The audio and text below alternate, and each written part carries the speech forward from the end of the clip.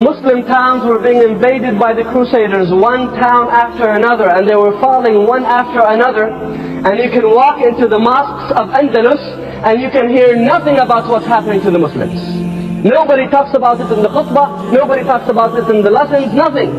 The scholars are talking about theoretical things and they're leaving the ummah. And the ummah is being betrayed and they're doing nothing. Ibn Hazm al-Andalusi, the famous scholar from Al-Andalus, was so frustrated and fed up with the situation of the scholars and the imams of Al-Andalus. He said, don't be deceived by these kussab who claim to be scholars while they are wearing the skins of sheep on hearts of wolves.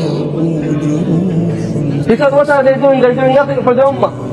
The ummah is falling down, the ummah is being fought against, the, the land of Al-Andalus is invaded, and they're talking about some other issues.